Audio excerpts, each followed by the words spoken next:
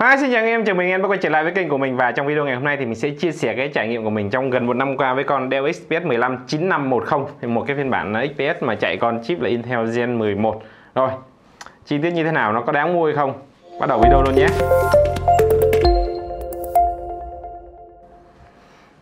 Thì đầu tiên nói về cái lý do mình xài cái con này thì à, trước đây mình cũng đã sử dụng con MacBook và hiện tại mình cũng đang xài một con iMac 5K phiên bản à, 2020 cái phiên bản cuối cùng của con iMac Intel thì mình hiện tại là những cái video của mình thì mình dựng trên con iMac đó và ngoài ra thì mình hay xem phim, xem MV, xem tiêu thụ những cái nội dung ở trên đó tại vì màn hình đẹp rất là đá. Tuy nhiên là khi mà mình làm việc mình chuyên về content thì uh, lúc mà mình ngồi mình gõ văn bản mình ngồi mình làm việc mình xài trên con iMac đó màn hình nó quá lớn và mình không có tập trung được và mình sau khi mình chuyển sang con laptop này thì mình tập trung hơn. Lý do tại sao mình chuyển con uh, MacBook qua con này thì có một vài lý do chính. Đầu tiên là mình uh, con MacBook R 13 inch cũ của mình thì nó màn hình nó hơi bé. Ngoài ra thì công việc của mình có một số thứ liên quan đến Windows nên là mình cần mình sử dụng hai hệ điều hành song song. Sau đó mình chuyển qua một uh, vài cái mẫu laptop nhưng mà mình không ưng lắm. Cuối cùng mình đã quyết định chọn một con XPS và con này đặc biệt là cái phiên bản mình đang sử dụng nó không có GPU nha. Nó chỉ có một con Core i5 11400H và không có GPU thì hầu hết các phiên bản mà anh em thấy trên thị trường là nó có chạy GPU thường là 1650 hay 3050 gì đó. Thì uh, những cái con có GPU thì nó sẽ phù hợp với những em mà chơi game rồi dựng phim các thứ nhưng mà nó có nhiều vấn đề lắm. Thì chút nữa mình sẽ nói sâu hơn. Rồi bây giờ nói về cái con này đi. Đầu tiên là về ngoại hình.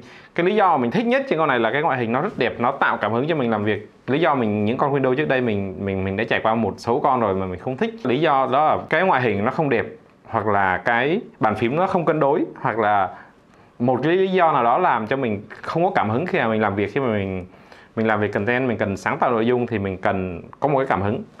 Thì cái con XPS 15 này là một trong những cái con máy mà cho mình cảm hứng tốt nhất. Nó thậm chí nó còn tạo cho mình cảm hứng tốt hơn cả con MacBook. Thì tất nhiên cái đó nó phụ thuộc vào mỗi người thôi. Mỗi người sẽ sẽ thấy có một cái máy giúp cho mình có cảm hứng hơn. Thì mình, sau khi mình trải nghiệm qua rất nhiều laptop trong 6 7 năm đi làm thì mình trải nghiệm qua tới chắc phải đến gần cả hàng trăm con laptop rồi. Thì đây là con laptop mà cho mình cảm hứng nhất. Nó có một cái thiết kế anh em thấy không từ bên ngoài nó có một cái thiết kế rất đẹp. Một cái vỏ nhôm bên ngoài rất đẹp cái phiên bản của mình ở đây là màu trắng. Thì à, cái bề mặt phía bên trên nó được tráng một cái lớp là vân uh, sợi thủy tinh. Thì cái sợi thủy tinh này nó sẽ bền hơn so với cái uh, sợi carbon mà anh em thấy trên cái phiên bản màu đen. Nếu phiên bản màu đen anh em nào mà ra một hôi tay chẳng hạn xài một thời gian thì sẽ nó khả năng là chóc cái cao su nó lên và nhìn nó rất là gớm cái lớp vân màu đen đen nó lên nó sẽ rất là gớm. Còn cái này phủ sợi thủy tinh thì nó thực ra thì mình chưa thấy ai bị cái vấn đề với cái sản phẩm này. Và con này mình xài khoảng gần năm nay thì nó vẫn đẹp nó vẫn trắng. Chỉ cần lau đi là nó trắng vệ sinh được màu trắng nhưng không có sợi dơ. Còn ngoài ra thì nó có một cái màn hình 16 10 cái viền anh em thấy không? Cái viền con này thực sự là quá đẹp. Viền cực kỳ mỏng màn hình 15,6 inch 16 10 một cái màn hình rất là tuyệt vời, rất là phù hợp cho làm việc. 16 inch thì nó sẽ to hơn một chút, nhưng mà con này 15 inch 15 trên 6 inch 16 10 là mình thấy nó vừa đủ, nó cân đối được cái kích thước, cái trọng lượng. Tất nhiên con này thì không quá nhẹ đâu, con này nó cũng khoảng à, gần 2 kg thì đó là một cái trọng lượng nó cũng khá nặng với một cái con máy mà nó không có GPU rồi, với một con máy nó cấu hình như vậy. Nhưng mà bù lại nó rất là chắc chắn, cứng cáp. Mà nguyên một cái mặt dưới này nó là kim loại hết, thì nó hơi gớm mà, tại vì mình dán thêm mấy cái chân đế này để mình kê nó cao lên để mình xài cho nó thoải mái. Nhiên là, em thấy không? Cái mặt đáy nó cũng rất là đẹp. Có một cái chữ XPS ở đây thôi. Cái khe hút gió ở chỗ này. Rồi ngay cả mặt dưới này nó cũng chỉ có một cái tem Windows. Rất là sạch sẽ. Ở trước này thì trước đây nó có một cái tem Intel. Mình có một cái tem duy nhất thôi mình lột nó đi luôn rồi. Ngoài ra thì nó có một cái bàn phím nó rất là cân đối thì uh, nếu mà anh em xem video của mình rồi thì sẽ thấy là mình là một người rất là thích những cái máy mà nó nó phải cân đối cơ. Cái bàn phím nó không có cụm phím số nó cân chính giữa. Tại vì mình làm content mình không cần sử dụng cụm phím số cái việc mà cụm phím nó nằm giữa nó làm cho mình có cảm hứng làm việc khi mà mình gõ, mình nhập văn bản rồi nọ kia, nó mình không bị cái cảm giác cái máy với lại cái người nó bị lệch sang một bên, cái tay nó bị lệch sang bên mà nó rất là cân đối. Con này còn một cái touchpad rất là bự nó touchpad nó cũng nằm chính giữa luôn, nằm cân luôn, nó không có hề bị lệch đi đâu hết. Thì những cái con Windows nó hay làm cái touchpad lệch lệch sang bên đó thì mình không có thích. Con này có một cái touchpad rất lớn, diện tích rất lớn, cái cảm giác checking nọ kia thì nó không thua kém gì MacBook cả. Tuy nhiên tuy nhiên là con này đời đời này thì nó vẫn sử dụng cái cơ chế cũ, bấm nó cứ lệch cạch lệch cạch và nó không có đều lực thì sau này à, một số con sau này nó sử dụng chuyển sang cảm ứng lực giống như Mac hồi, MacBook rồi thì nó sẽ ngon hơn rất nhiều. Nhưng con này thì đó là cái điểm duy nhất là mình mình chê con này tại vì nó bấm nó bị lệch cạch, mình không thích. Rồi À, đó là những cái ưu điểm về ngoại hình những cái thứ mà mình thích nhất. Ngoài ra thì con này cũng có một cái loa khá là ngon. Cái loa chất lượng âm thanh như con này cũng rất ngon. Tất nhiên là nó vẫn chưa bằng mấy con MacBook Pro đâu nhưng mà so với thế giới Windows là con này nó thuộc là hàng đỉnh rồi. Cổng kết nối thì con này nó cũng khá đơn giản nó chỉ có hai cổng Thunderbolt 4 và, và một cổng USB 3.2 xuất màn hình sạc nọ kia được luôn. Một cái khe đầu đọc thẻ SD dành cho anh em multimedia chụp ảnh nọ kia như mình thì cắm vô cho nó tiện và một cái à, jack 3.5 có vậy thôi không có cổng USB đâu. Mặc dù là cái máy này nó cũng khá là to khá là nặng nhưng mà đeo làm vát cho nó mỏng hai cái viền này đi là không trang bị USB cho nó nữa. Thì uh, thực ra là ừ, trước đây mình cũng sử dụng MacBook và nó cũng không có cổng USB nên mình chuyển hết cái hệ sinh thái của mình sang Type C rồi nên đó không phải là cái vấn đề của mình. Tất cả mọi cái phụ kiện của mình giờ đều nó là Type C hết. Rồi tiếp theo là cái màn hình. Màn hình ngoài cái việc mà nó đẹp nó 16 10 như thế này ra thì cái chất lượng hiển thị nó rất là ok. Con này nó chỉ có Full HD thôi chứ không phải là cái bản OLED 4K hay là một số bản 4K tuy nhiên là có nhiều người khi mà nhìn vô cái màn hình của mình thì wow tại sao cái màn hình nó đẹp vậy? Chỉ có Full HD mà đẹp vậy. Thì Full HD không nghĩa là nó sẽ không đẹp được nha. Full HD nó sẽ không được nét như cái bản 2K hoặc 4K thôi nhưng nó vẫn rất đẹp. Màn hình con này cho một cái độ chính xác màu cao cho một, những cái trải nghiệm về màu sắc về nó chỉ có 60 Hz thôi nhưng mà nó cái tấm nền nó chất lượng. Khi mà sử dụng lâu mình ngồi cả ngày với nó mình không có bị mỏi mắt mình không có bị khó chịu mình không có cảm giác bị lóa bị chói. Thì cái này phải trải nghiệm nhiều và trải nghiệm lâu thì anh em mới thấy được cái sự khác biệt của mà một cái tấm nền xịn hoặc là tấm nền không xịn. Những cái tấm nền không xịn, mặc dù nghe thông số có thể ngon, màu sắc có thể chính xác, rồi tần số quét có thể cao, nhưng có những cái màn hình nó làm cho anh em bị chói, bị đau, bị mỏi mắt, bị khó chịu con mắt, thì cái đó phải trải nghiệm mới biết được. Còn thông số nhà sản xuất mình không thể biết được. Thì đó, con này mình đã trải nghiệm nó gần một năm nay nên mình tự tin khẳng định với anh em nó là sử dụng một cái tấm nền rất ngon, sử dụng không mỏi mắt. Tất nhiên là sử dụng màn hình nhìn vô màn hình thì chắc là mỏi mắt rồi. Nhưng mà nếu mà so với tất cả những cái con khác mà mình đã từng xài qua thì con này với con MacBook là hai cái con mà cho mình cái cảm nhận cảm giác mà xài nó dễ chịu nhất. Con MacBook đôi khi nó khó chịu con này tại vì nó màn hình gương và đôi khi nó bị chói nó hơi khó chịu nếu mà xài trong môi trường nhiều sáng. Còn con này là màn hình chống chói thì có sáng một chút thì vẫn không có sao vẫn dễ chịu. Rồi tiếp theo thì mình nói về cái cấu hình con này đi. Thì lúc mà mình mua về nó chỉ có là 256 GB SD 16 GB RAM và à, chỉ có vậy thôi thì uh, bây giờ nó đã thành 32 GB rồi mình nâng cấp cho nó thành 2 cây 16 và mình cũng nâng cấp cho nó lên thành 512 GB SD của Samsung. Thì tại vì mình đã nâng cấp lên những cái linh kiện cao hơn xịn hơn và mắc hơn thì uh, mình sẽ không có review chi tiết được cái phần mà linh kiện đi kèm với máy thì nó như thế nào. Tuy nhiên là con này thì nó chỉ có một con chip là 11400H thì mình nói khi nãy thôi. Mục đích mình mua con này về mình chủ yếu để làm nội dung, làm content, làm à, những công việc văn phòng bình thường thôi hoặc lâu lâu mình sẽ sửa ảnh mình chụp ảnh và mình sẽ sửa. Thì bản chất cái việc sửa ảnh trên Lightroom hay Photoshop nó không cần GPU rồi nó chủ yếu sử dụng ăn CPU là nhiều thôi nên là mình cũng không cần GPU rồi để làm gì. Mình cũng uh, không chơi game mình thực sự là không có chơi game.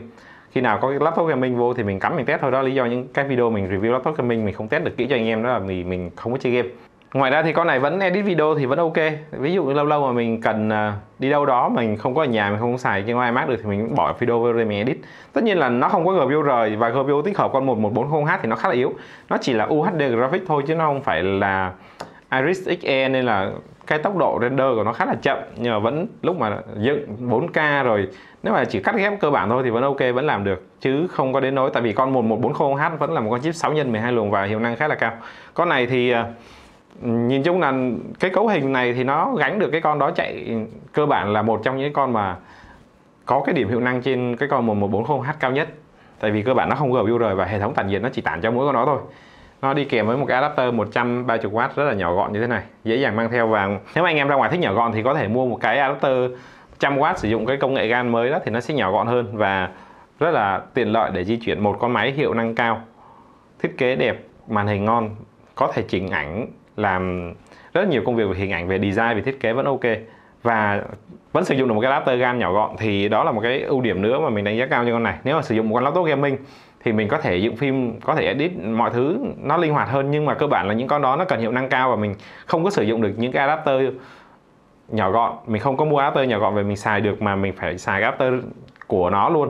Và cái trọng lượng của nó thì không hề nhẹ nha. Một con máy như thế này, mình mình mua thêm một cái adapter 90W mình đang sử dụng một con 90W nó chỉ có khoảng hơn 200 gram thôi và thành ra cái combo này chỉ khoảng có hơn 2 kg xíu thôi. Nhưng mà nếu mà xài một con à, gaming hai kg rưỡi, thêm cái adapter một kg nữa, thành 3 kg rưỡi, trọng lượng nó bị đội lên rất rất nhiều vì cái adapter đó anh em. Nên là mình đã chọn con này để mình đồng hành với nó, làm việc với nó.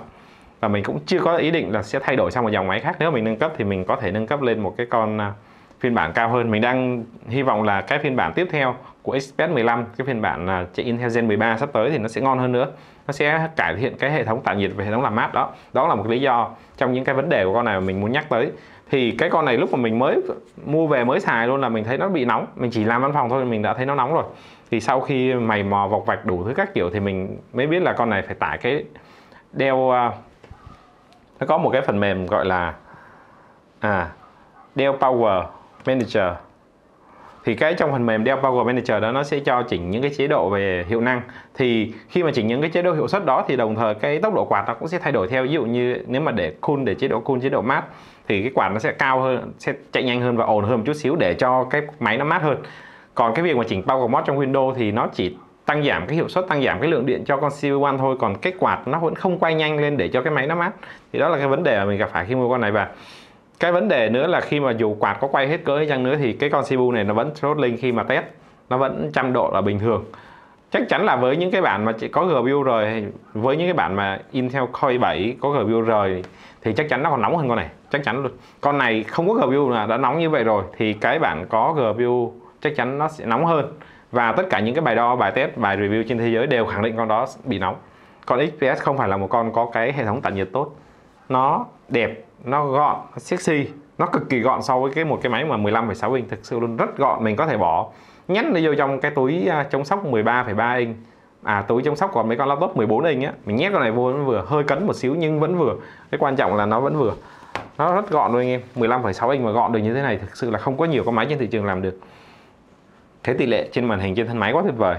Khả năng nâng cấp ok con này nâng cấp hai khe ram hai khe sd luôn thích gắn, bao nhiêu thì gắn, đấy. Còn đây đây là cái hệ thống tản nhiệt của nó. Ở giữa là cái khu vực à, hút gió, hai bên là hai quạt thổi ra ngoài. Thì à, nhìn chung là cái hệ thống tản nhiệt nó khá là rộng, khá là to, nhưng mà khi mà lật lên, khi mà mở máy lên thì nó cũng bị che bớt đi. Và cái quạt của nó cũng khá bé, mình mở ra rồi thì mình thấy cái quạt trong nó khá bé nên là cái việc tản nhiệt nó chưa thực sự tốt. Và cái đó cũng là một cái vấn đề mà nếu mà các bạn tính mua XPS về mà để dựng phim, để làm những công việc nặng suốt ngày hoặc là chơi game nhiều thì phải cân nhắc tuy nhiên là nếu mà chỉ có chỉnh ảnh thôi á, chỉnh ảnh, rồi làm những công việc thiết kế design nọ kia, office, rất là ngon. Tại vì cơ bản là những cái tác vụ đó ăn CPU thôi, không cần GPU thậm chí không cần mua bản GPU luôn cũng được, cho nó mát. Con này mặc dù nó hơi nóng nhưng sau khi, sau này mình cài cái Power Manager vô thì nó mát hơn đáng kể và mình à, không còn cảm giác được cái máy nó nóng lên nữa mà chỉ có nóng cái phần trên này, phần đằng sau và phần trên này thôi. Rồi, ngoài à, những cái đó ra thì nó còn là cái gì ta? À khi nãy mình quên nói cái bàn phím. Con này cái bàn phím của nó cũng rất là ngon. Cái bàn phím nó cảm giác gõ rất là đã luôn nha. Cảm giác gõ rồi cái phím bấm nó to cái bố cục của nó rất là cân đối và đụng tay vào phát là làm quen được liền. Con này có cả nhận diện khuôn mặt có cả cái ờ, cảm biến vân tay cảm biến vân tay và nhận diện mà con này đều rất nhạy. Con này thực sự là một trong những con mà máy tính Windows mà cảm cái cái uh, nhận diện khuôn mặt mà nhạy nhất mình, mình sử dụng. Trước đây mình trải nghiệm qua một số con thì nó phải nhìn thấy mình gần gần một chút rõ một chút thì nó mới mở. Con này mình nhiều khi mình để ngoài mình để hướng ra ngoài. Mình mở cửa ra phát mình vừa ngó vô phát là nó mở lên rồi. Nó rất là nhanh và rất là nhạy. Rồi cuối cùng thì mình sẽ nói về thời lượng pin của con này đi. Thì thời lượng pin con này thực ra là con này cái phiên bản của mình đây là pin 56Wh và nó cái bản của mình thì nó sẽ nhẹ hơn bản kia. Con này thì như nó là một ký tám còn cái bản mà pin mà 80 mấy watt giờ đó, thì mình không nhớ chính xác là tám mấy đó, thì nó sẽ nặng hơn, nó nặng khoảng 2 kg và cái bản của mình đây thì pin thực sự là khá là hẻo. 5 6 watt giờ cho một con chip H một cái màn hình khá là bự. Thì à, làm văn phòng bình thường được có 3 tiếng, hơn 3 tiếng là hết mất tiêu rồi.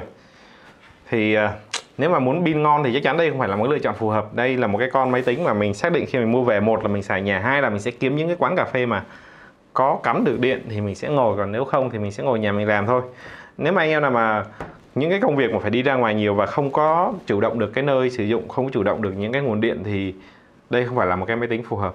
Nếu mà mua thì mua cái bản 86W giờ thì maybe là nó có thể trâu hơn chút nó có lên được khoảng có 4 đến 5 tiếng là cùng. Nhưng là sẽ không quá trâu đâu tất cả những cái con máy tính mà xài chip theo dòng đặc biệt là những con đời 11, đời 10, đời 11 mà chip H nữa thì không thể trâu được tại vì những con nó ăn điện khá là nhiều. Hiệu năng thì nó vẫn ok đó nhưng mà nó ăn điện quá nhiều và nó nó không tối ưu. Nên cái đời 12 và xài AMD thì nó sẽ tối ưu hơn. À còn một cái điều nữa anh em phải cần phải lưu ý khi xài con này đó là rất là dễ xước, mình bị mấy vết rồi. Cái mặt này nó đẹp vậy nhưng mà nó dễ xước lắm. Trà nhẹ vào đâu phát là nó xước rồi. Nếu mà mua con này thì một là phải dán, hai là thích xài trần như mình cho đẹp quá thì phải cẩn thận một chút. Mình có túi chống sóc xịn đàng hoàng nhưng nó vẫn xước. Không hiểu là quẹt vô đâu. Lúc xài nhiều khi để vô gần gần cái mép dính vô cái gì đó, một phát là nó chảy một đường. Rồi, trên đây là tất cả những cái trải nghiệm của mình về cái à, con XPS 15 9510 này trong gần một năm qua. Nếu mà các bạn còn thắc mắc gì về cái sản phẩm này thì để lại bình luận phía bên dưới. Mình sẽ cố gắng giải đáp tất cả các thắc mắc. Rồi, bây giờ thì xin chào và hẹn gặp lại các bạn trong những video tiếp theo. Tạm biệt.